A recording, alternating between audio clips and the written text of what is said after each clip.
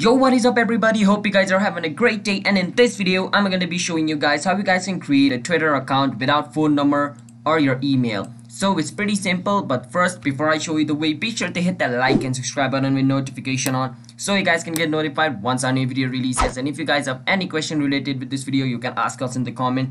So without any further ado let's start the video. So first thing before creating the Twitter account you need to you know go to this website so type this on your browser search engine whatever you want to call it. I'm using google chrome. You can use whatever you want. So type this.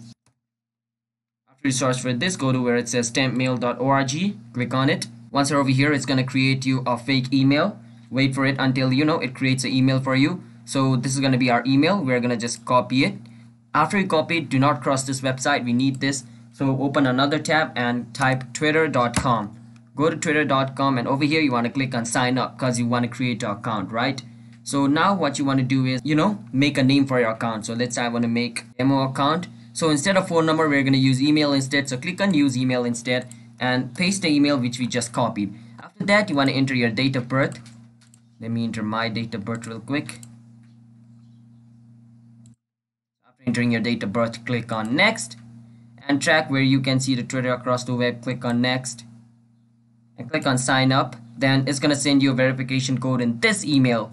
Now this is a fake email so that's why I told you not to you know close this tab. The email is gonna be sent over here. Wait for some time. As you guys can see we received our verification code over here. Now you can click on it. So this is our verification code. So now we are gonna just copy this number over here. After copying it we're gonna paste it over here. Now click on next.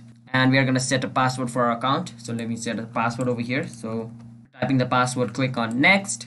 Wait for some time and you just created yourself a Twitter account. Just click on skip for now. I don't want to set this up. Skip for now.